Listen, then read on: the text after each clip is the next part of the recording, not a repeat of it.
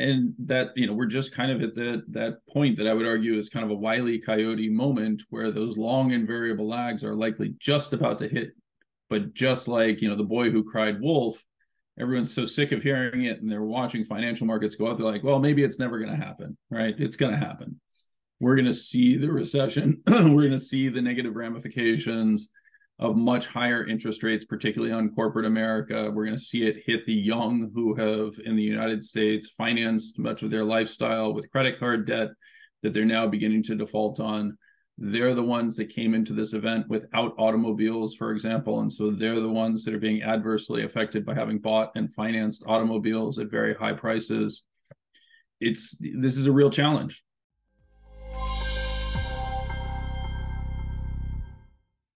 On this episode of the What the Finance podcast, I have the pleasure of welcoming on Michael Green, who's Chief Strategist at Simplify Asset Management. So, Michael, thanks so much for coming on the podcast today.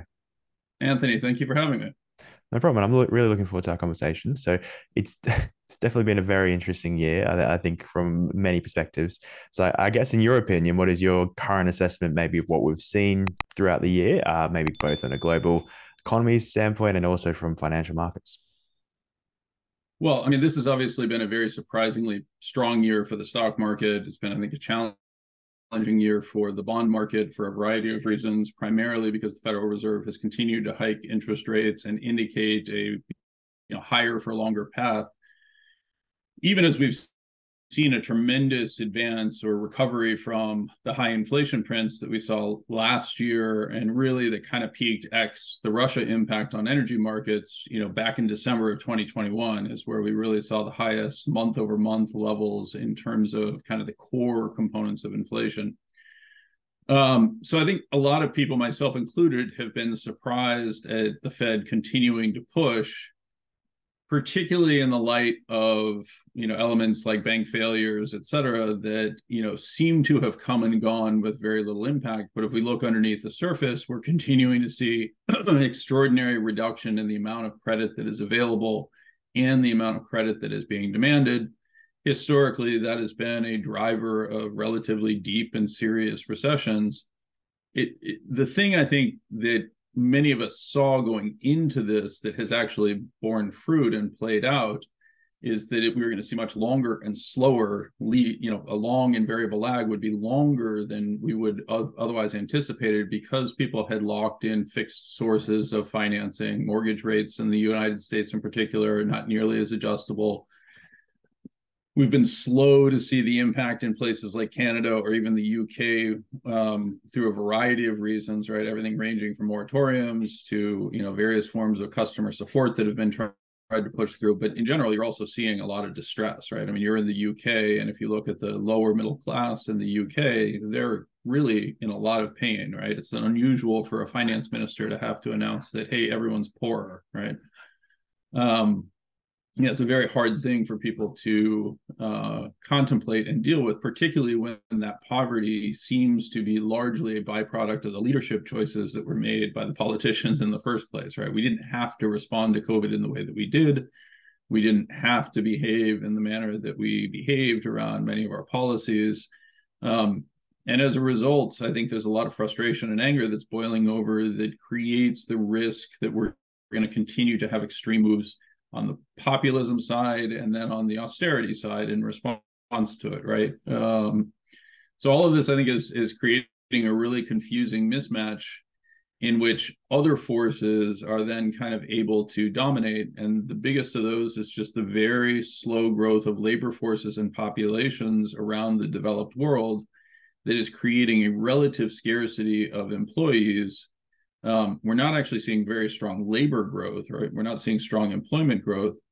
We're just seeing very weak to negative labor force growth that is depressing unemployment and again leading to very confusing information that we're receiving and that you know we're just kind of at the, that point that i would argue is kind of a wily coyote moment where those long and variable lags are likely just about to hit but just like you know the boy who cried wolf everyone's so sick of hearing it and they're watching financial markets go up they're like well maybe it's never going to happen right it's going to happen we're going to see the recession we're going to see the negative ramifications of much higher interest rates, particularly on corporate America. We're going to see it hit the young who have in the United States financed much of their lifestyle with credit card debt that they're now beginning to default on.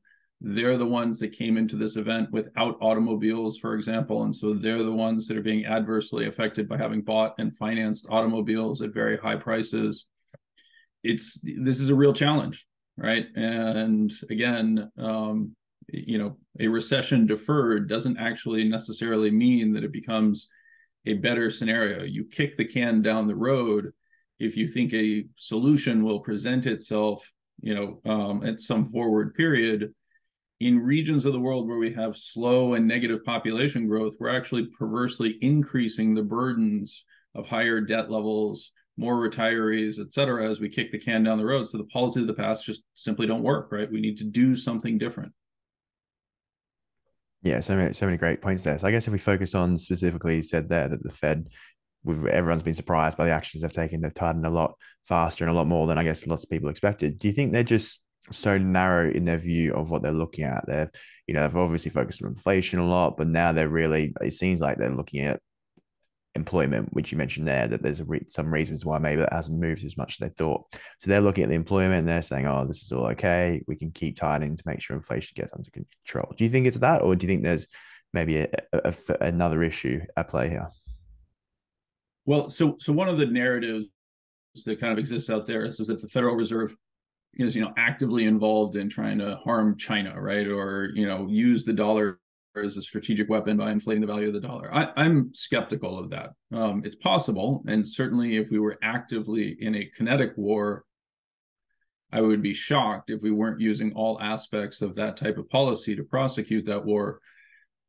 But uh, there's just no evidence that that's actually the case. And if anything, you know, when I speak to politicians, um, I, I, generally think that at this point there's more just uncertainty and and they don't really actually know what they're trying to do. And so they kind of sidestep and say well you know monetary policy is the province of the fed even when it severely negatively impacts the fiscal standing of the united states and forces our allies by the way to chase our currency by raising their interest rates as well.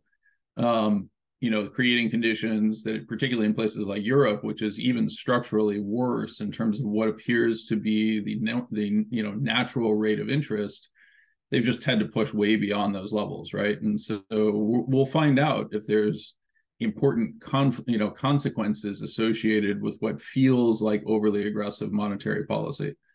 Um, I think we had a good indication of what the Fed is thinking. If you look at the June speech from Christopher Waller, um, he highlighted the idea that because the Fed has been so forceful and so clear in its communications and so aggressive in its hiking, that we should see long and variable lags function with a shorter lead, that he actually believes that we've seen all of the implications. And I think he would largely point to the deterioration in asset markets that occurred primarily in 2022 as the indication of that.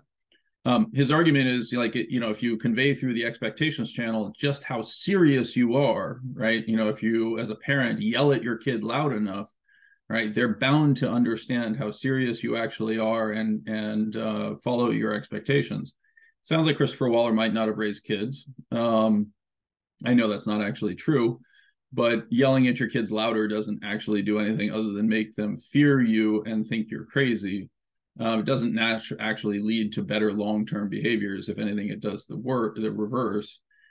And I, I think the indications are as i you know said at the at the intro to this that actually the long and variable lags are going to be even longer and more variable because of the long period of low interest rates that we've now replaced with a period of much higher than uh, expected interest rates. And so we'll see what the consequences of that are right? And now having locked itself into two consecutive mistakes having been overly loose through the 2021 period, failing to take advantage of the acceleration in the economy and the excess fiscal stimulus that came through most Western economies, and begin to withdraw accommodation and remove support, you know, reiterating as late as November of 2021 that, like, hey, we're, we're not going to hike forever, basically, right? Um, you know, now, of course, they're embarrassed and they're behaving in the opposite direction, right? And I, I hate to constantly use the parenting analogies. I'm fortunately now an empty nester, so I don't have to worry about it nearly as much. But that really is the underlying kind of dynamic, right? I mean, you're now at a point where like mom has behaved totally irrationally, and rather than admitting she overreacted, she's just you know sticking to it, right? You know, want to stand firm to show that you're really re, you know not reactionary, even as everybody in the family suffers. It's basically like, okay, just let mom cool off, right? Um, that's the dynamic that I think is going on. The Fed is just you know so intent on showing us how serious and powerful and credible they are that they're going to create you know what I think is going to actually be a disproportionate downward response as we suddenly discover that you know something like 30% of businesses in the United States are actually extraordinarily vulnerable to failure tied to much higher interest rates. Yeah, I, I guess if we I, look at actually, that, I want to correct myself there. Not 30% of the businesses, it's 30% of employment in the United States. Uh, not the not by number of businesses. I don't have that statistic. Okay, makes sense. And then if we look at that, like as you said, a lot of the actions they've taken, you'd assume would have been negative for uh, the economy, and then maybe as well for companies' earnings, etc. And then from there for the markets. But we we probably haven't seen that as, as much yet. Do you think it's just the point that uh, these things are such lagging indicators, and it takes a while for you know, as you mentioned, that the, the credit changes and the, and the cost of capital to permeate throughout the economy that we just haven't seen it yet? Or why do you think maybe we you know markets have been so strong and we haven't seen uh, the effects go through it yet. Well, I think this is actually one of the great ironies is, is that we actually have seen evidence of the effects already. If you look at the United States, for example, and you look at the level of home sales, in particular existing home sales, they've plummeted below the levels of the global financial crisis, right? This is the worst experience we ever had, despite the fact that our population and number of houses is something like 20% higher than it was at that point in time. Um, not quite that much. I think it's like 15. But so we're now actually below those previously unimaginably low levels. And, you know, we're saying, oh, everything seems fine, right? Well, what's actually being tracked and monitored are things like new home sales. New home sales are being inflated by national home builders who have access to financing by, you know, effectively creating buy downs in interest rate mortgages or mortgages and you know lowering those interest rates by several percentage points for kind of a two year period so that people can continue to afford the new home right? The argument is very straightforward. Hey you'll be able to refinance when the fed cuts rates in two years. Well the problem is is you know in financial markets when we talk about prices markets where prices are at highs but volume and trading activity is hitting lows that's not a healthy condition, right? What that's actually just telling you is, is that there is an extraordinarily restricted level of supply that is playing through because nobody is yet willing to acknowledge what's changed in the underlying dynamic. And at the same time, we haven't yet encountered the distressed sales that would emerge with higher levels of job loss and um, not necessarily, by the way, unemployment, but just job loss, right? If people need to change where their job is located, if they need to sell their home, if they need to do these things, you know, that's going to actually create distress. Ironically, things like the return to office, kind of forcing people to go back to that, um, could create a catalyst that makes people suddenly say in rural locations where they've bought homes with, you know, the objective of video commuting or, or telecommuting, you know, oh my gosh, I have to sell my home in Idaho so that I can, you know, keep my job in Silicon Valley, or I have to sell my home in Idaho so that I can, you know, do my financial services job in Chicago. Um, that runs the risk of creating supply of properties that is currently missing, right? And it's going to be very interesting to see how that plays out. I mean, again, going back to the the the home builder component, if I look at the national home builders, the DR Hortons, the Lennars, et cetera, of the world, and I look at the share that they've taken because they have unique and privileged access to their internal financing arms, where they're able to buy down effectively these mortgage rates and reduce the payments for kind of a two-year period. That's creating conditions under which people are now, you know, buying those few related homes that's causing the perception that prices are stable and remaining high. Even if you were to try to push through just a little bit more supply, there's a very real probability that prices would collapse. So we'll, we'll see, but we don't actually know the answer yet. Yeah, it makes sense. And I guess if you, as you said, if you look at the US, it's fixed rates, so there's, it's more going to be almost a standoff of people just trying to do whatever they can to stay, keep their current mortgages. Whereas I guess in the variable uh, countries such as Australia, UK, Canada, there's going to be more of that forceful push once you get have to refinance to higher rates that you might actually be forced to sell. You don't need that. right. And, and so even in countries where you have variable rates, I mean, most people forget that those variable rates have kind of like five year reset periods, right? So it doesn't hit all at once. It's some small fraction of the population that gets hit at any point in time. When you're in an environment in which they're looking at their home and saying, wait a second, you know, um, my mortgage just reset a lot higher. Um, I may have to sell my home, but you know, I'm not sure if I try to sell my home that I'll get the price that I need to finance the purchase of another property or find another place to live.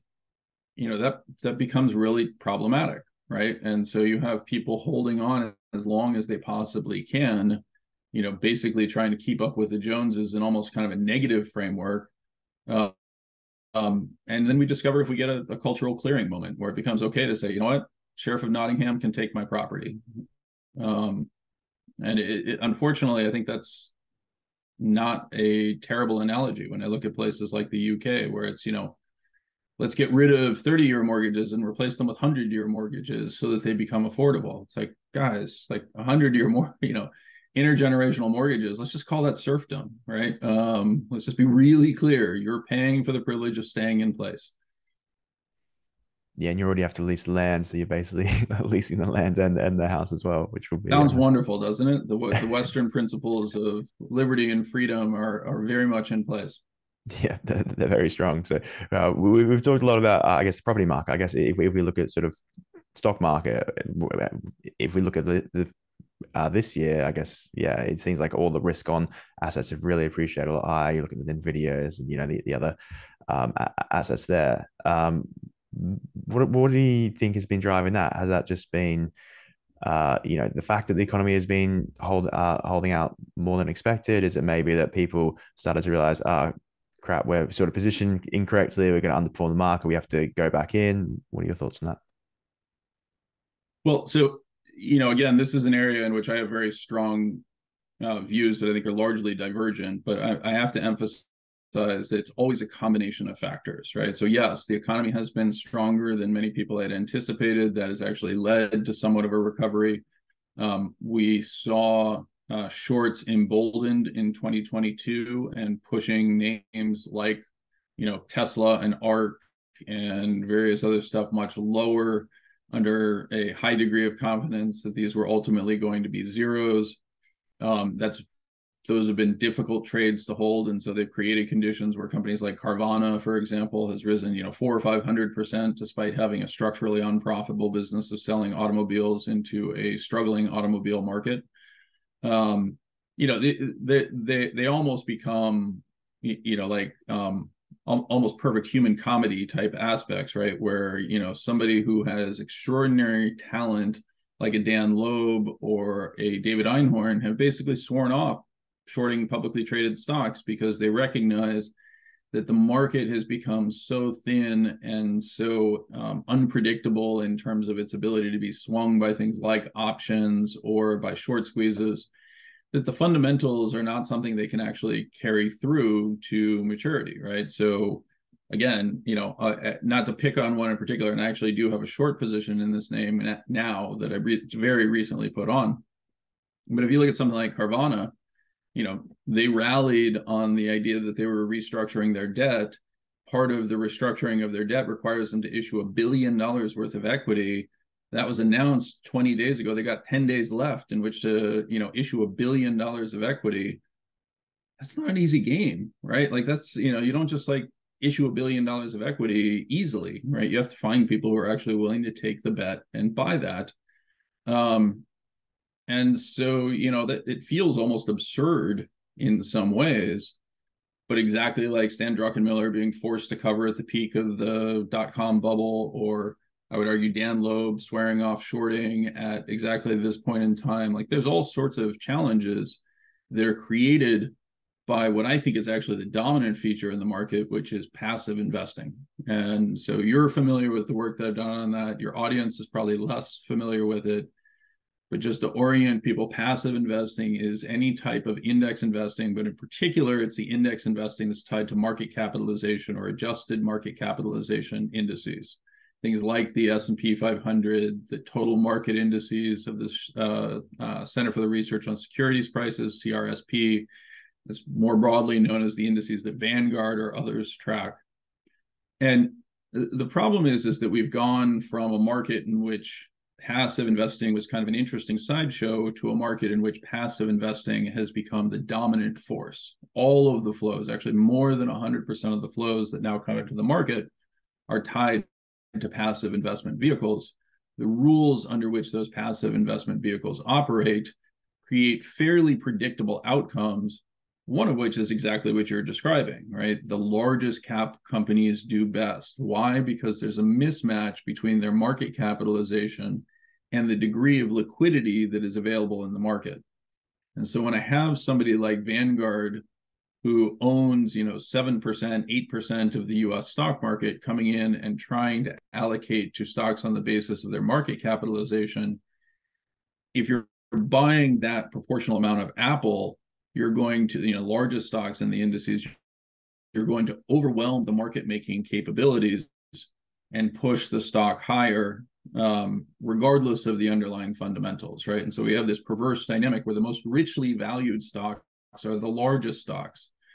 Those that seem to express the greatest potential for future profit growth are those that have grown the most in the past, right? Um, it's kind of the ultimate irony of, of the disclaimer that you have to put out in uh, investing, which is past performance is no predictor of future, you know guarantee of future results.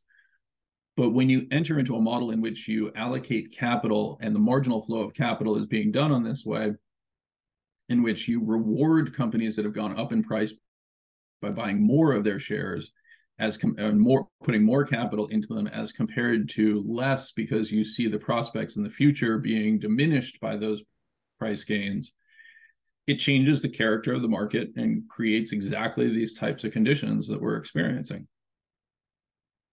Yeah, I, I guess then it pushes the people who are tracking, uh, you know, the uh, these indexes, or even people who are trying to compete against it. They're going to have to sort of do more to try and even you know recreate those returns or, or try and pass them. If if you well, I mean, a, a really simple example would be something like an Apple or a Microsoft or even an Nvidia to a certain extent, right?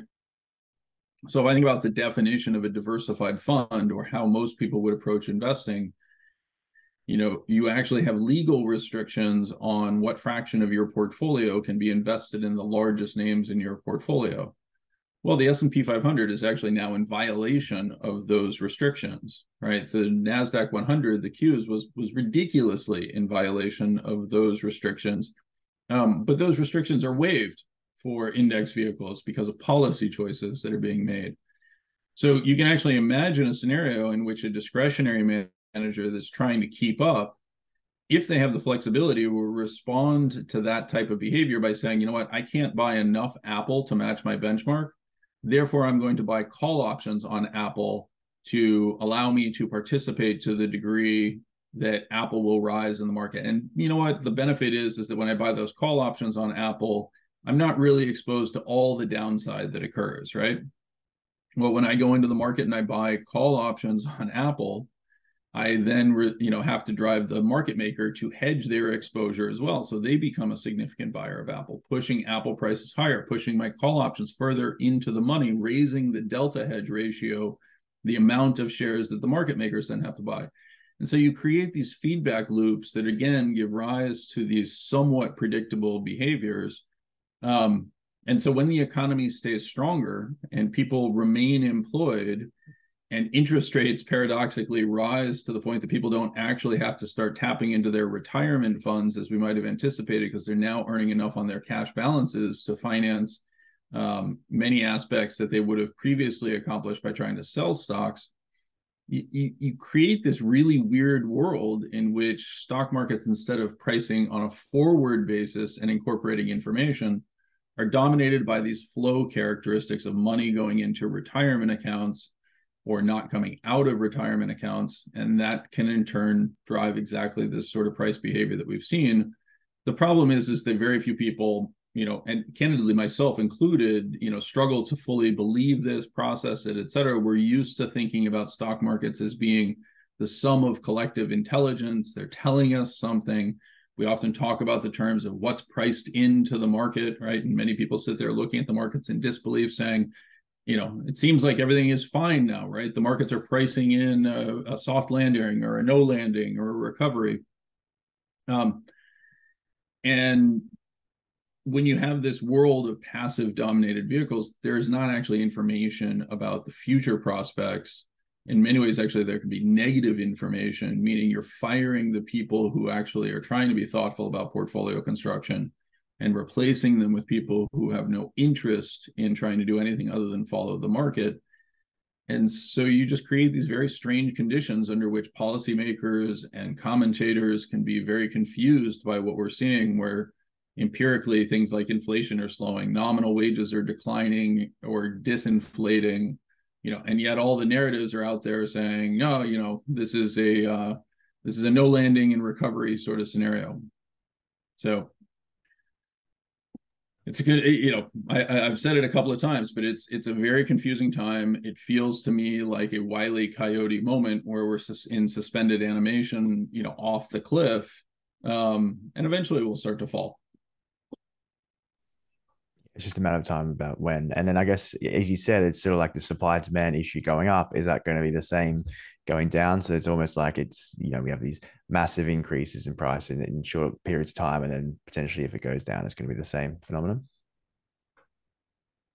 Well you know again we don't know the answer to this of course right? Um what what the um, models I'm referring to would suggest is, is that we are far more prone to melt up and melt down type behavior, right? Um, in mathematical terms, the distribution of outcomes in price markets become increasingly negatively skewed when a market becomes increasingly inelastic, meaning um, the supply and demand don't change as much based on uh, uh, the price has to change more because supply and demand don't adjust to changes in price, right? Um, that the term inelastic or elastic is is comes from um, economic modeling, where an inelastic good is something where the demand doesn't change much in response to the change in price. The supply doesn't change much in response to the change in price. When you start thinking about modeling a supply and demand framework for the stock market, introducing players like passive vehicles that simply buy in proportion to the market cap in response to either inflows or outflows, where does price have any or prospects of forward return, where does that have any influence on their supply and demand characteristics? So that's the underlying dynamic, unfortunately, that then leads to this type of you know more extreme behavior we've seen so few examples of where that flow has turned negative that we actually really can't do anything other than offer a hypothesis around how it behaves.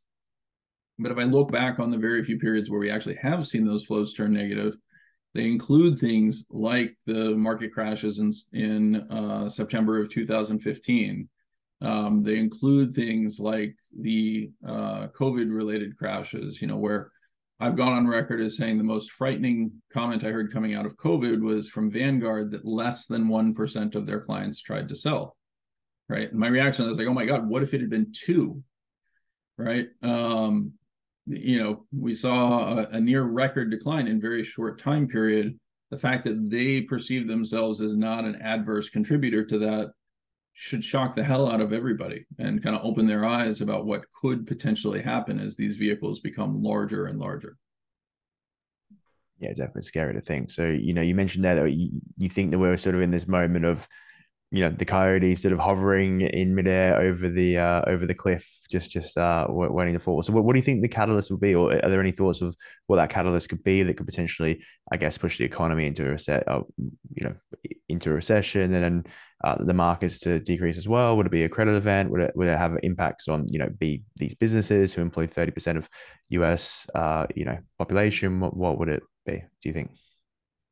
So my bias is is that it's going to be a credit event that it'll be tied to you know some form of corporate bankruptcies or a surprising inability to refinance. I can point to everything ranging from you know levered giants like AT and T um, or Verizon, which have extraordinary pension obligations, tied to their employees have taken on significant quantities of what was um, very highly rated debt is an increasingly becoming lower rated debt in response to share losses. Um, you know, cellular providers like Verizon, again, that are very heavily levered, are raising prices in response to losing market share, right? And that's because they're hoping effectively that their clients don't notice these price increases or aren't paying attention but this is occurring at the exact same time that new competition is emerging and pushing very hard against those sorts of price increases um, it's likely to accelerate share loss. And so they're hollowing out their business because they can't take the profit hit given their debt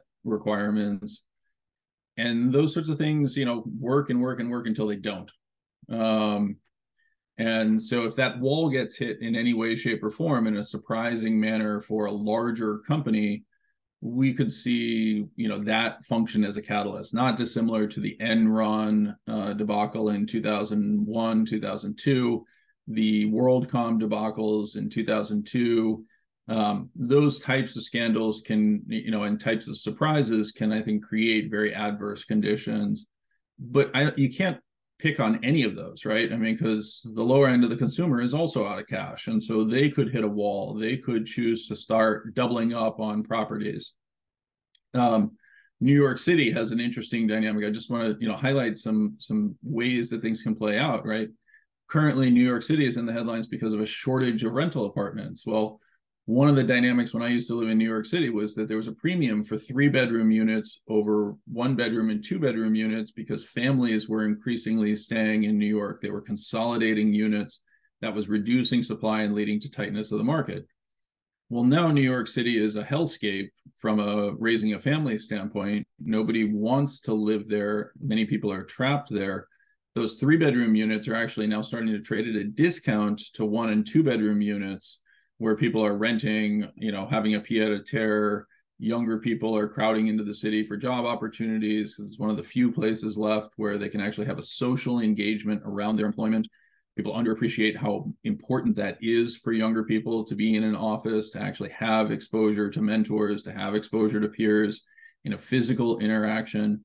And so people are crowding into places like New York. Well, if you start converting those three bedroom and four bedroom units that you had combined to create, you know, um, combined units, you're suddenly increasing the supply of units dramatically, and the economics are beginning to move in that direction. So, you know, the, like little things like that that seem like they really are unsolvable problems. If you create the economic conditions that offer solutions, they'll be taken, right? And so it's just a matter of time before we begin to work around the restrictions and challenges that we have and resolve some of these things. And ultimately, that's a benefit.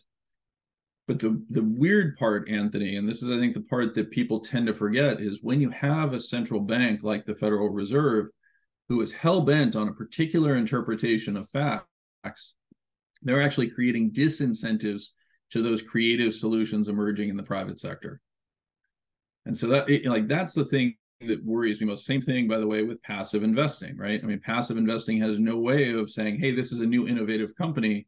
The only way we discover a new innovative company is somebody actually going out and doing the work and saying, hey, I'm willing to put capital at risk in this company more than other people are willing to do.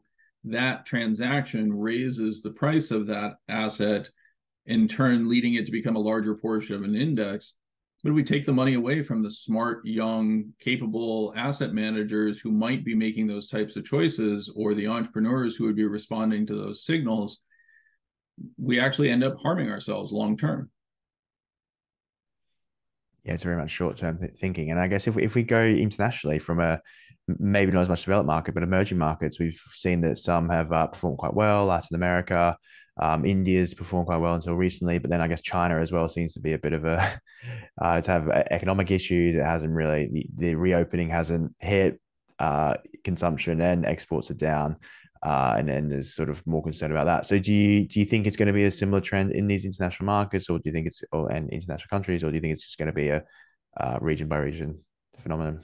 the classic the, you know the classic expression is when the us uh, sneezes the rest of the world catches a cold right and i think we're definitely seeing that right we're seeing slowing rates of consumption growth quantity growth is actually turning negative I mentioned the housing market, for example. Um, you know, the shortage of everything housing related is now turning into surplus. Uh, I would encourage uh, you know UK listeners to fire up their internet browser and go to US versions of Walmart and Best Buy, et cetera, and look at what's happened to electronics prices, et cetera. They're just collapsing. I mean, it's just unbelievable how much they've fallen. Well, these are all the things that we desperately wanted going into or, or in the early stages of the pandemic, right? If I'm going to be trapped at home, my 55 inch TV no longer does me any good. I need an 85 inch TV and I'm willing to pay a premium to get it because I'm not spending my money on going to restaurants or I'm not spending my money on gas or I'm not spending my money on, you know, commuting into the city and paying tolls, et cetera. Now those price signals that flowed through created excess supply on a structural basis, in particular, brought forward many of the Chinese brands. And so we're seeing pressure that's causing those prices to collapse. Um, you know that that sort of stuff i think is absolutely playing through in the United States. And when that happens, things shut off or increasingly start shutting off in the rest of the world. And the rest of the world is also challenged because, unlike the United States, which operates with an extraordinary amount of aggregate surplus, right? We have relatively cheap food here, we have relatively cheap housing.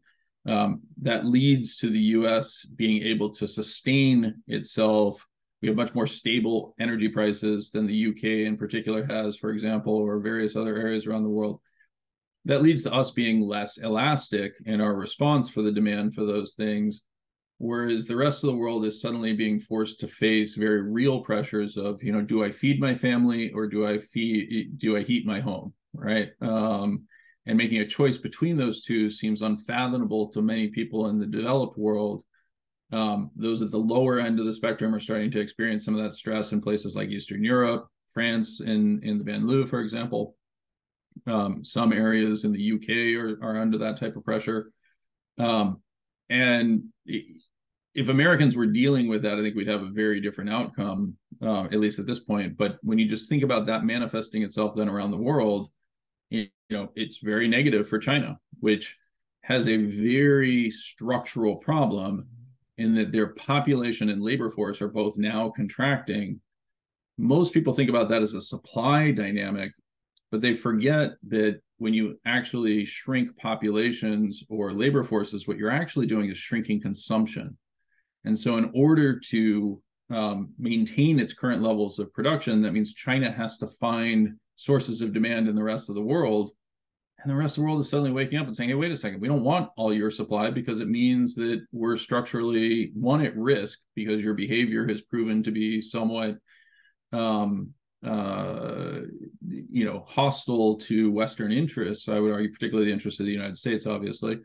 Um, but also because it means that we impair the employment prospects for many people in the United States, for example, or in Europe, right? The European auto manufacturers are under tremendous pressure from the emerging Chinese auto manufacturers.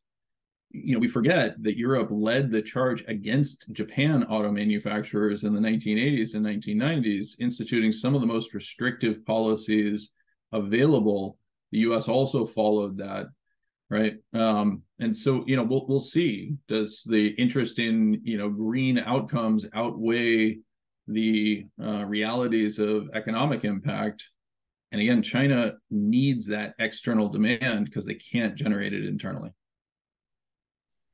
Yeah, and if, if you link into that green uh, consumption, it's really interesting. I was reading something uh, recently where it said Europe Europeans are probably more likely to want to sacrifice uh, potentially for, for that green solution, whereas Americans is more about innovate, innovate, innovate, innovate, and try and keep the current uh, you know, uh, you know, lifestyle while innovating and almost trying to, yeah, get, get out of, uh, you know, ha- have the same big trucks but with uh, green technology. And then China wants to control the whole supply chain. So it'll be interesting to see how how that dynamic works moving forward. Yeah, um, I mean, look, I I, think uh, first Europe, I think tends to do a better job of collectivist type behaviors within a a local region their populations are far less diverse than in the United States, and so that creates its own interesting tension um, in the United States in terms of our inability to address these things. But remember the old adage, right? Like like everything you're saying seems unreasonable, right? Of course, we know we have climate change, and therefore we have to modify our behaviors to ad- to adapt for that. But the important thing is is that all progress depends upon the unreasonable man, right? Somebody who's willing to say, you know, well, it's fine, all right, I'll take less. That's not an entrepreneur. That's not somebody who creates something new and innovative. That's you know, somebody who's falling asleep on the job. Yeah, I agree. That's an interesting way to look at it. So, uh, in terms of what you what you've mentioned there, I guess uh, you know, next six months, you think, well, there was no time frame, but in the future, you think there could be this credit, event which does permeate throughout throughout the economy. So then, how are you looking to allocate uh, yourself for that and maybe prevent, uh, yeah, how, are you looking to allocate yourself for that? Well, I you know, I continue to think that we are very close to that type of event, right? We're starting to see the stress, um, what's called the maturity wall of high yield paper um, and even more so the maturity wall of commercial real estate and shorter term um, uh, equipment financing, et cetera. Those are all hitting now, basically, right? In the next, you know, 18 months, you're going to see tremendous pressure that emerges from companies that have debt that they took on in 2020 and 2021 you know term debt that has a four or five year term associated with it. The typical uh, number is actually about six years. So as you approach the maturity wall of that paper about a year before you actually hit that paper expiring you have to like you have to have financing lined up in place so that you can repay that maturing paper right?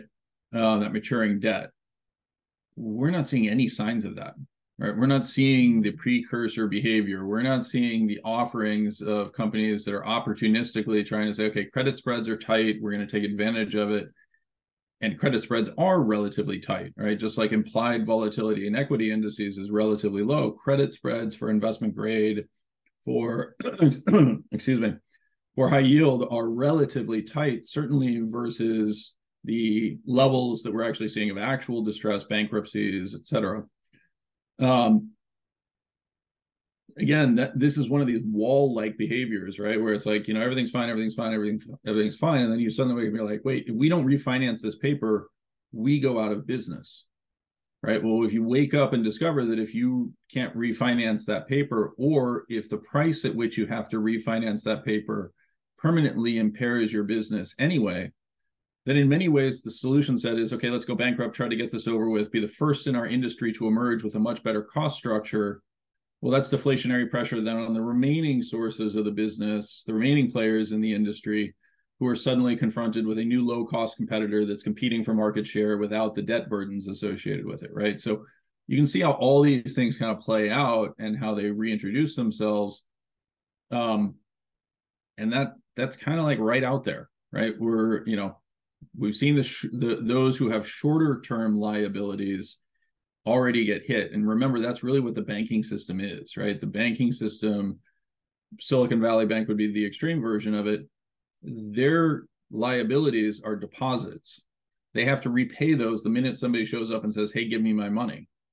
Right. Well, a lot of people showed up and said, Hey, give me my money very rapidly. That led them to be forced to recognize losses that they otherwise would didn't want to.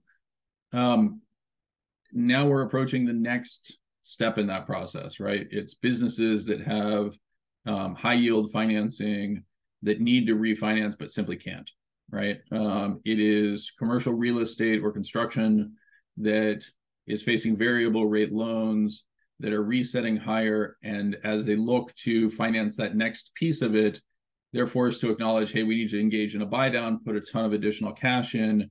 You know what? Forget it. We're just going to walk away and hand over the keys. We're seeing that all over the place. Um, so it just becomes a question of does the magnitude of that grow to the point that it begins to materially impact people's outlook? We're just not there yet. So, or at least people don't want to acknowledge that we are there yet. Yeah. So, so I guess from your perspective, you're looking at those companies. You mentioned one before, uh, Carvana. You're looking at those companies who are going to. That might be a different uh, thesis, but who are going to really struggle uh, with you know refinancing and with their business models, as well as I'm assuming during that period, um, you know, 10 year T, uh, uh, some certain, uh, you know, government bonds would uh, perform as well. Yep. Yeah, perfect. Makes yeah, I, I, th- I, think that's right. So, I mean, that, that is largely where I'm positioned is in shorter term bonds with some leverage associated with it. Um, because the other challenge that I think we have is is that there's just not a lot of um you, you know what's called the term premium or uh, a lot of times people will talk about the yield curve and they're they're very closely related concepts. You know the yield curve is so deeply inverted in the united states that it becomes very hard to imagine a very strong response coming from the 30 year bond you know before the fed begins to actually acknowledge and cut rates even further right? We're we're it's basically we're with the yield curve inversion that we have right now the bond market is so far ahead of the Fed in acknowledging these factors that I'm referring to that the key risk is is that they're just slow to materialize, right? And so until we see some proof that this starts to play out, I have a hard time seeing a scenario in which there's a very robust response coming from uh, you know duration or longer term bonds. I, I, I much prefer capturing the higher yield and the potential for immediate Fed rate cuts um, at the front of the curve. Yeah, makes sense. So, Michael, thanks again for your time today. I really appreciate it. Uh, I guess my last question is: What is one message you'd like people to take away from our conversation? Um, I mean, the the one message. I mean, if I can only give people one message, is that look, I think things are actually very uh, are going to develop in a very unfortunate manner. I would encourage people to be thoughtful about constructing their lives in a way that um, reflects deteriorating conditions um, and at the same time send people the message that like look you know this too shall pass right? We've made a lot of really bad choices. Um, but the underlying human capital the capability of the population et cetera remains there as long as we behave in a coherent and rational fashion. And so you know protests in which you burn a whole bunch of stuff down doesn't actually solve things but replacing elected officials with those who are dedicated to a growth agenda, who are focused on raising the value of human capital, improving the lives, in particular for children, as compared to the voting population, which is increasingly skewed elderly. Those are all, you know, people you want to hunt down and find and promote as leaders in our society. Um, we have you know a limited period of time with this democracy experience experiment before we prove or disprove that it's that we're capable of making good choices on a long-term basis right now we've done a pretty bad job of picking leadership so i i i, hope people do better going forward while protecting themselves uh, on an individual basis yeah, I agree. That's a great message. So thanks again for your time. If uh, anyone wanted to find out more about your work, would Twitter be the best place? Is there anywhere else?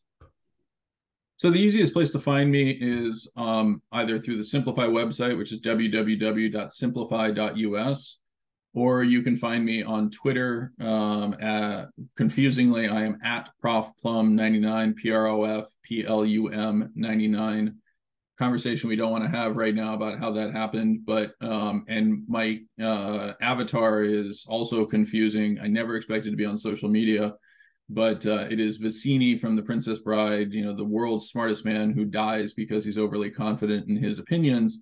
And um, that should be fairly self obvious. I speak in a way that betrays an extraordinary amount of confidence in my forecast, but I, I have to be honest with people that, like, it's just my opinion, right? Doesn't necessarily reflect Simplify, doesn't necessarily reflect what's going to happen in the future. And all I'm trying to do is make sure I don't keel over from iocane powder, powder in a goblet. So thank you very much for having me, Anthony. Yeah, makes sense. Uh, I love that story. And then you have a Substack as well. Sorry, I don't know if we mentioned that. Mm. I do have a Substack in which you can hear my various rantings uh, or read my various rantings. It's Michael W. Green um, is the Substack. You can find it under my Twitter profile, um, and uh, encourage anyone to to take a look at it. Perfect. I'll put that on the description below. But thanks again for your time. Perfect. Thank you, Anthony. Thank you so much for listening. And if you enjoyed the episode, please subscribe and click the bell icon so you are notified when new podcasts are released. I hope you're leaving with some great value about investing, trading, and finance. See you on the next show.